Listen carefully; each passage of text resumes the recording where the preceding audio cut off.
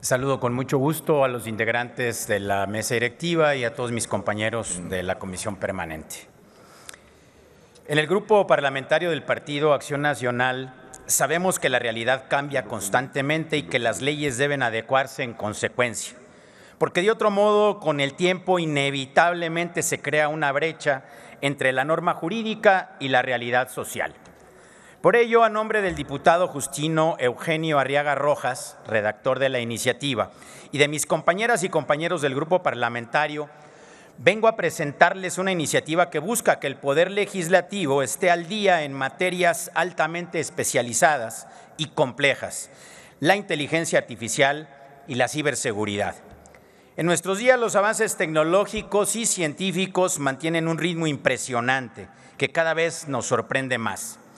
Cada día nos enteramos de nuevas tecnologías, de nuevos programas, de nuevos aparatos, de nuevas aplicaciones que sin duda alguna constituyen mejoras para la vida de la población, pero que también necesitan ser debidamente estudiadas y reguladas por el derecho, a fin de que no se generen riesgos para los derechos de la ciudadanía.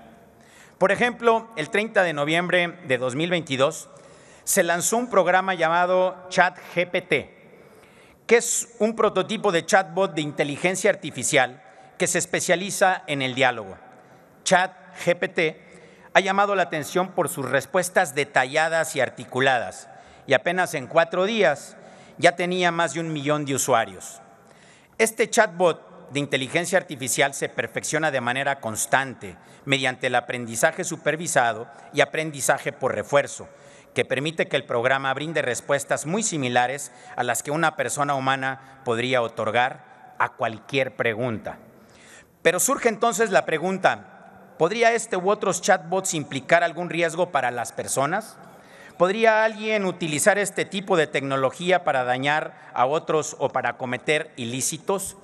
Por supuesto que sí, y por ello en el Poder Legislativo tenemos que estar atentos a este tipo de riesgos para minimizarlos y aprovechar las bondades de la tecnología. Esto es solo un ejemplo de las aplicaciones de la inteligencia artificial que la inteligencia artificial ofrece y que están cambiando al mundo. Evidentemente, todos los programas de inteligencia artificial utilizan grandes bases de datos que pueden poner en riesgo los datos personales de millones de personas o pueden generar actos discriminatorios por los sesgos de la Big Data que la Big Data utiliza, por lo que es fundamental construir un marco jurídico sólido que evite estos riesgos. Por otro lado, la ciberseguridad también es un campo que debe desarrollarse en nuestro país para evitar los ciberdelitos y para garantizar la seguridad de la ciudadanía. México se ha convertido en un blanco importante para los ciberdelincuentes.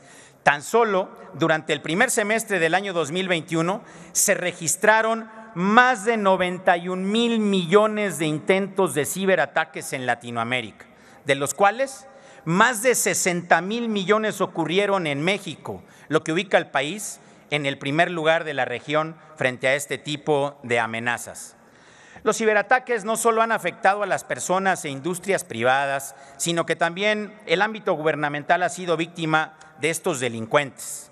En mayo de 2021, la Lotería Nacional sufrió un ciberataque, mientras que en 2022 la Secretaría de la Defensa Nacional sufrió el caso conocido como Guacamaya Leaks, que todos conocemos. Y de igual forma, la Secretaría de Infraestructura, Comunicaciones y Transportes fue vulnerada con las consecuentes parálisis de trámites y actividades en varias áreas. En este contexto es bastante evidente que la gestión de riesgos y la prevención, así como la sanción de los delitos como la pornografía infantil, el secuestro y la trata de personas, y los fraudes electrónicos debe partir de una adecuada normativa y para ello se requiere que el poder que expide las leyes este, el legislativo, cuente con órganos especializados en la materia. Al revisar la composición de las comisiones ordinarias de la Cámara de Diputados del Congreso de la Unión, podemos apreciar que no existe ninguna especializada en temas de inteligencia artificial ni de ciberseguridad. Ello provoca que las iniciativas y proposiciones sobre estos temas se puedan turnar de manera indistinta a comisiones diversas. Ante esta indeterminación, vale la pena reconocer que el desarrollo y cada vez mayor uso de la inteligencia artificial y la cada vez mayor incidencia de ciberataques y ciberdelincuencia, así como la imperiosa necesidad de garantizar la seguridad en el ciberespacio para todas las personas que habitan en este país y que accedan a aquel, nos exigen que la Cámara de Diputados cuente con una comisión especializada en los temas relacionados en este campo. Le pido al diputado Sánchez Concluyo, presidente. Gracias. Por ello, la iniciativa que en este acto les, les presento tiene como propósito reformar el artículo 39, numeral 2, fracción 27 de la Ley Orgánica del Congreso General de los Estados Unidos Mexicanos para crear la Comisión de Inteligencia Artificial y Ciberseguridad, para que se cuente con un órgano y con personal especializado. Es cuanto, presidente.